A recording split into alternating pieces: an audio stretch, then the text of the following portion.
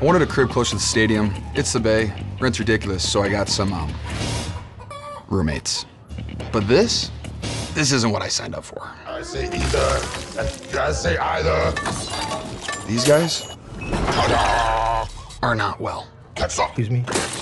Yummy. Eddie said my life wouldn't be in danger. I woke up this morning with a tendril wrapped around my neck. Not cool. There's a dang chew tire in the living room. What's that about? These guys just don't even like each other, That was abusive. which is bad because they share a body. Venom's got no chill. You are a loser. Hey, uh, some of us are trying to sleep, so sick. I don't know how to tell Eddie it's not working without triggering Venom.